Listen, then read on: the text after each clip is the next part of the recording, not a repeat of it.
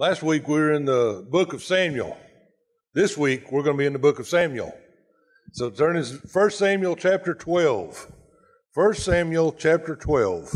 You'll begin reading with me in verse 13. He says, Now therefore behold the king whom ye have chosen and whom ye have desired.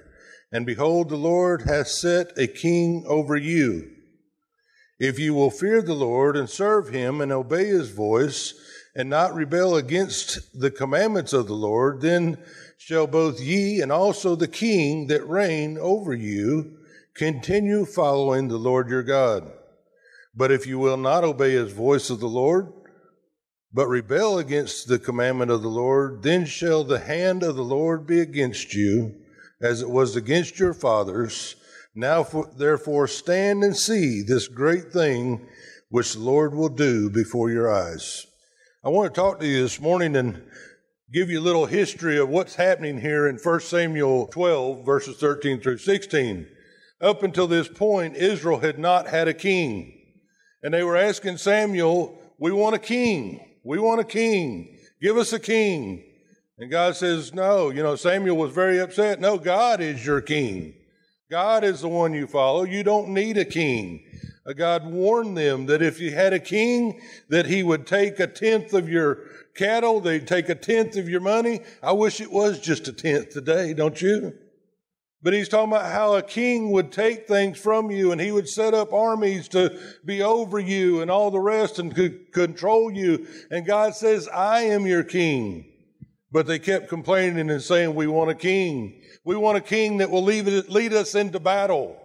We want a king to be over. And this all started from Samuel. He was a man of God and they followed him. They liked Samuel. He was one of the last judges in the Bible. But Samuel's sons didn't really follow in his footsteps. And they were doing things wrong. So it sparked interest to the people that we want a king that would follow the Lord and to serve the Lord. We want out from under your sons that are doing evil in the sight of the Lord. And so they asked for a king. And then here we read in Samuel chapter 12 where God gives them a king that they have chosen. They ask for it. And God, in His permissive will, everybody knows that there is God's perfect will and then God's permissive will. So God says, All right, you want a king, I'll permit you to have a king, but it's not my first choice for you. So, what does that got to do with today? What does that got to do with the 4th of July weekend See, we have governments and people to govern because men are evil. See, we get this backwards. And man, I, I did some research and you wouldn't believe some of the trash out there about our Constitution and the Declaration of Independence. And, but it's interesting to me some of the things that are being taught today and how we're trying to be misled. But God gave a king to Israel because the people were evil.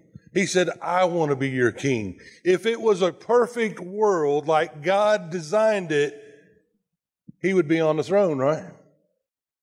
We wouldn't have, need a king. Now, he would set up governors and stuff and people to sort of oversee and to take care of the people. We'll see that in heaven. We saw that in, in Israel, in the tribes of Israel, how Moses set up people over the different tribes. But God was their king, and the people would bring their problems to a particular person. That particular person would then bring the problem to Moses, rather than having 700,000 people all come to Moses at the same time.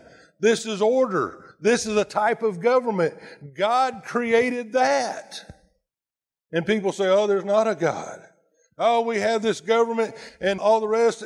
The Constitution gives me my rights. The Constitution does not give you rights. It guarantees your rights that you already have and are given to you by Almighty God. That's the truth. God gives you your rights. The Constitution in our government is there is to enforce and to guarantee that my God-given rights aren't infringed upon. That's the truth. That's going all the way back to the root of why we have a Constitution. Listen to me as I read the first paragraph or so of the Declaration of Independence. Our founding fathers, when they decided that we would pull away from the King of Britain, that there was a lot of problems, that he was doing a lot of evil things, and they wanted out from his, uh, his control. So they started the Declaration of Independence. When in the course of human events it becomes necessary for one people to dissolve the political bands which have connected them with another and to assume among the powers of the earth the separate and equal station to which the laws of nature and of God entitle them. Our founding fathers understood my rights don't come from man.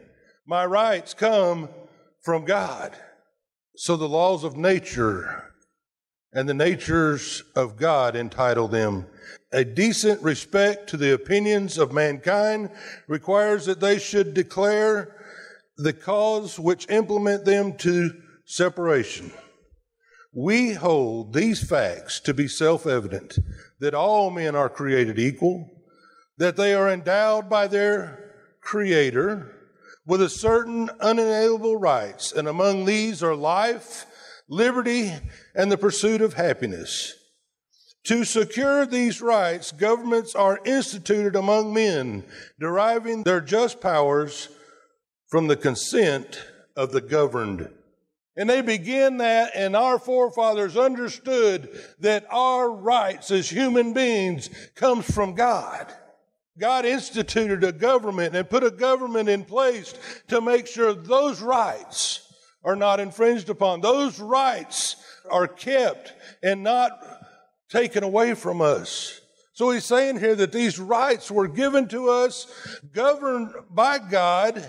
We developed a government that would be governed by men and women or the people to guarantee our rights. So it's not just me. Our forefathers knew that. I believe the Bible teaches that. He's telling this, that in our text a little bit, and we'll look at that in just a few minutes. But I want to look at the declaration and in this verse that everybody, or this section that everybody knows that we find these truths to be self-evident that all men are created equal, that they are endowed by their creator, and they have the right to life, liberty, and the pursuit of happiness. So let's look at the word creator. See, in Deuteronomy 6 4, God made it clear to them there is one God. Hear, O Israel, the Lord our God is one Lord. See, therein lies a lot of the problem with these people here. And some of the things I saw, I saw a caption as I was studying that says, we got to be careful that our rights come from God. That that's not a true statement. And I just, for kicks and giggles, I read his article. Well, it turns out he's an atheist. He don't even believe in God. So how can he even say that our rights aren't from God? And he, he went on on a big tangent, and I'm not going to go there. But first, we need to understand there is one God. There is one God.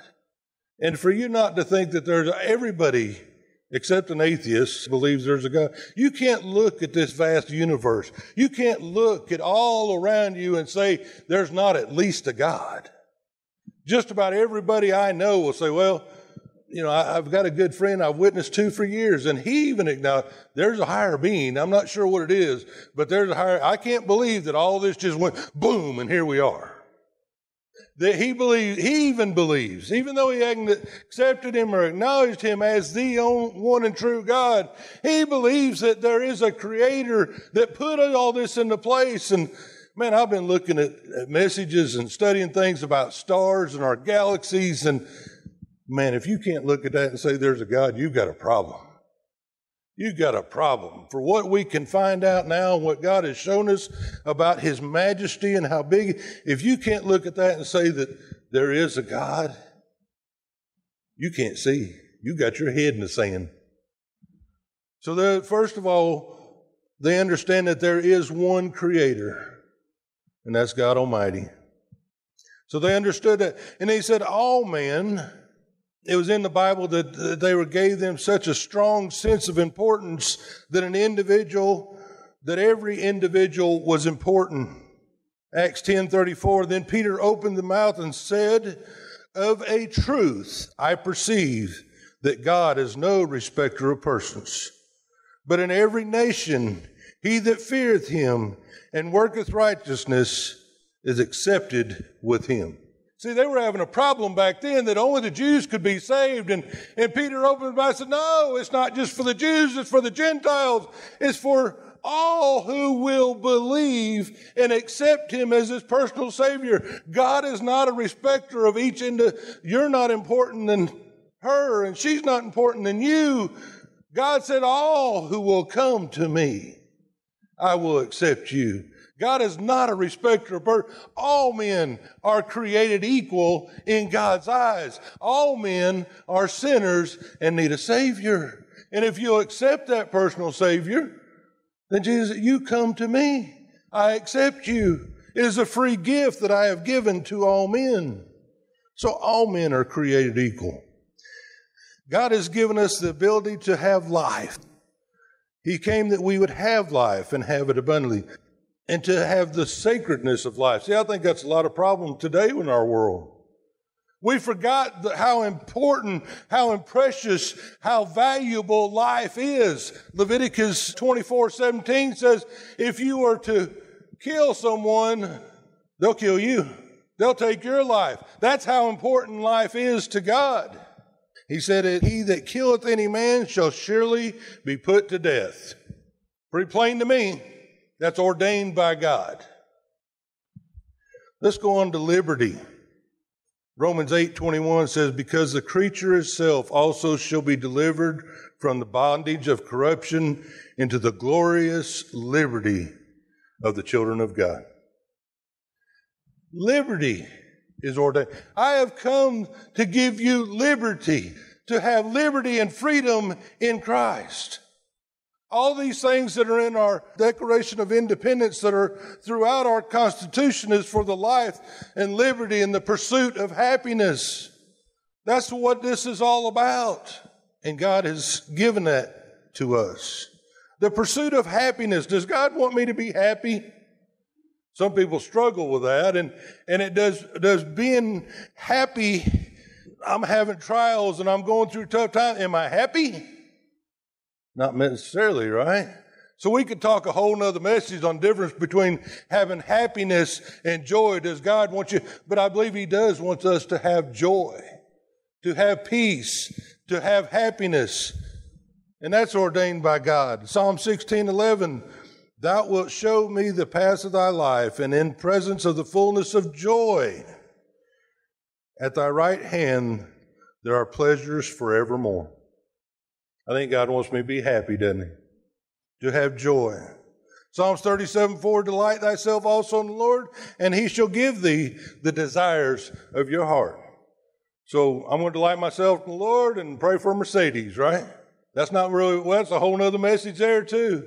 If I'm delighting myself in the Lord, that means I am constantly focused on Him, what He wants for me. And as I go closer to Him, as last week I said, I hear His voice. I hear Him speak to me. Then I have joy. His desires now become my desires. I'm not praying for Mercedes if God doesn't want me to have a Mercedes. But see, our, my desires become His desires. That's what that verse is saying. That we would have joy. The thief comes but to steal in John 10 10 and to kill and to destroy. But Jesus said, I am come that you might have life and that you have life more abundantly. God is all about giving us life and joy and happiness and having peace. John 15, 11, these things have I spoken unto you that my joy may remain in you and that your joy might be full.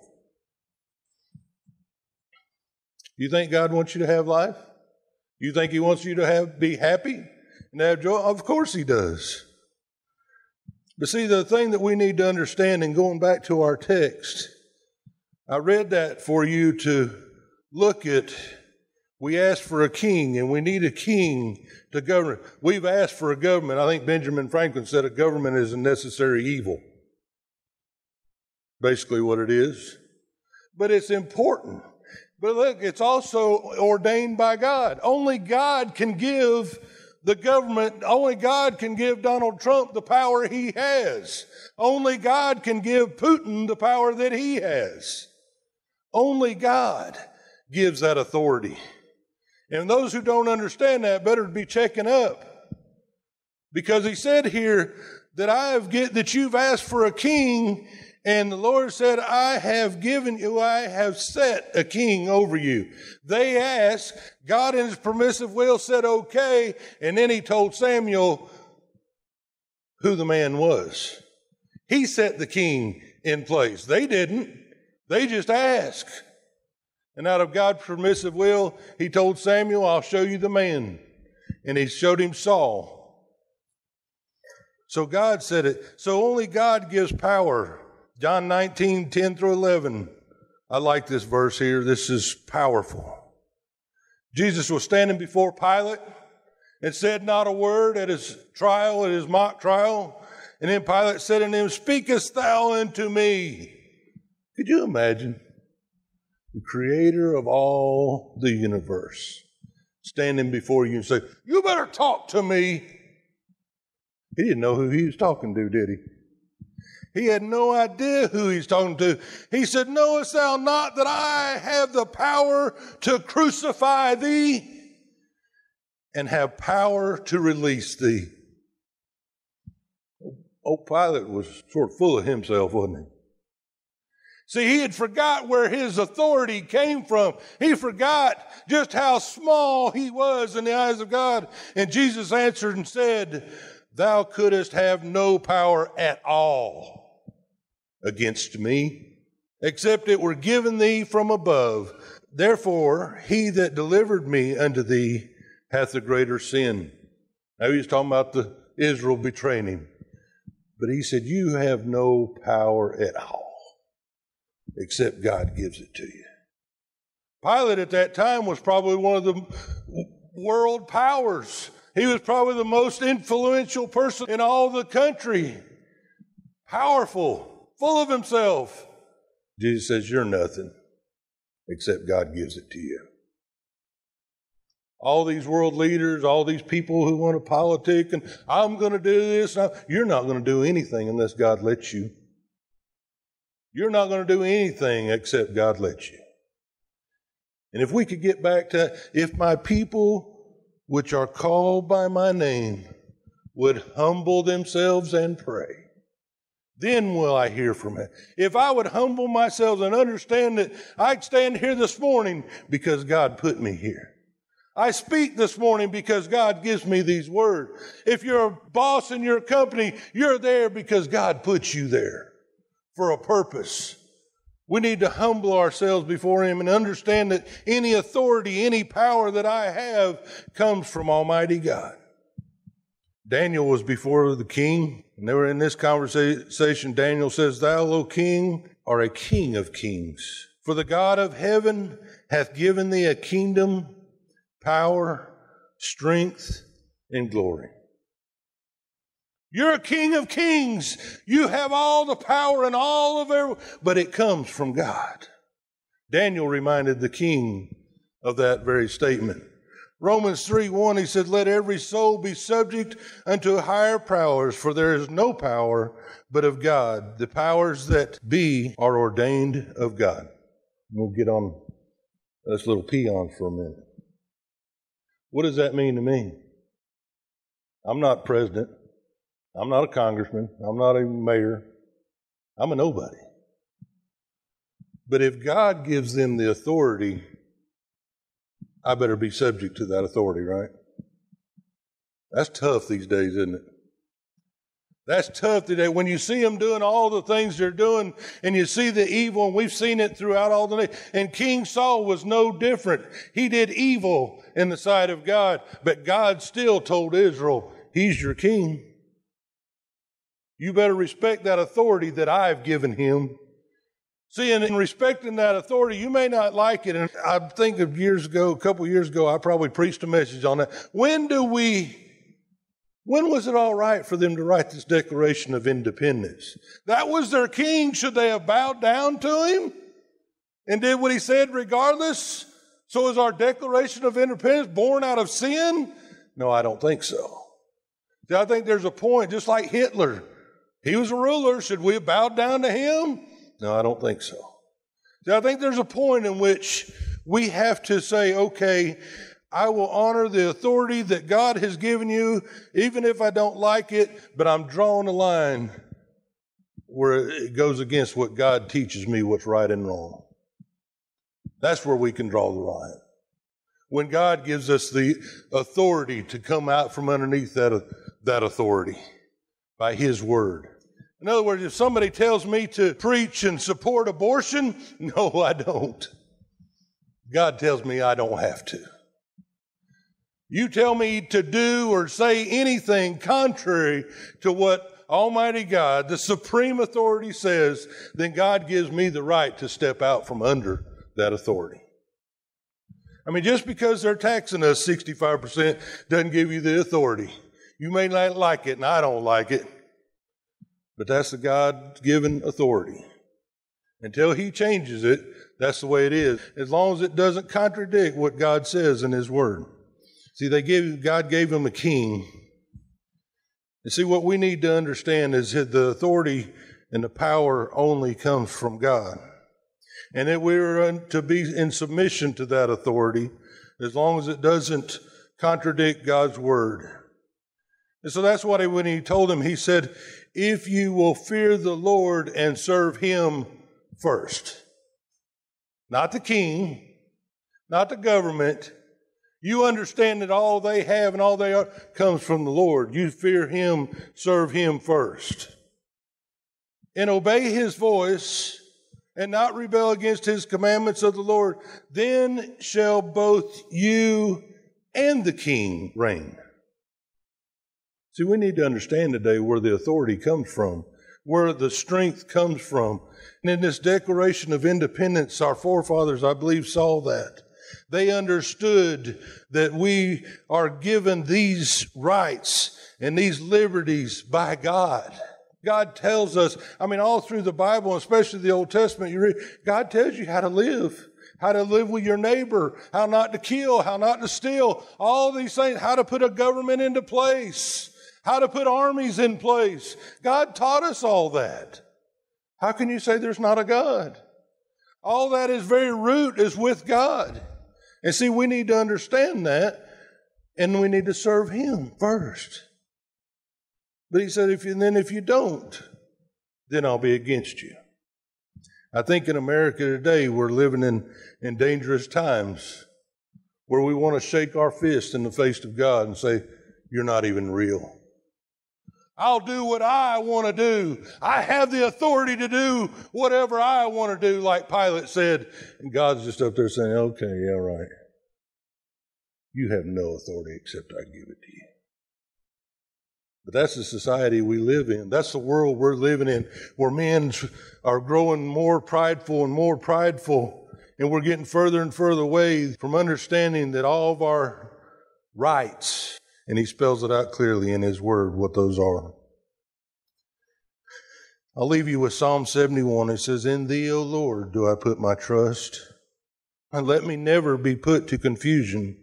Deliver me in thy righteousness and cause me to escape. Incline thy ear to me and save me. Be thou my strong habitation whereunto I may continually resort. Thou hast given commandment to save me for thou art my rock and my fortress. Deliver me, O my God, out of the hand of the wicked and out of the hand of the unrighteous and cruel man. For thou art my hope, O Lord God. Thou art my trust from my youth. God didn't really want Israel to have a king. And I believe in a perfect world and at the end of the, the age, Jesus will be King of Kings and Lord of Lords. And one day every knee will bow and every tongue will confess that He is Lord. That's the way God designed it. That's the way God created it. And I'm asking you today, you don't need to sign a Declaration of Independence separate from Him. See, our forefathers included Him in every part of it. They understood that. I believe that's why God has blessed this nation. But if we're going to draw away from it and we're saying, You're not my fortress, you're not my king, you're not this, you'll see. He promises them, Israel, you can have a king if you want to, but you fall away from me. We got to remember that as a nation. We got to remember that as a people. When our government's not doing what we want and it just makes you mad enough you want to break your tooth on something, God give them the authority. Let's do what we should do as Christians and submit to that authority for the testimony of the Lord, if nothing else. I need to sign a declaration of dependence on Him and Him alone.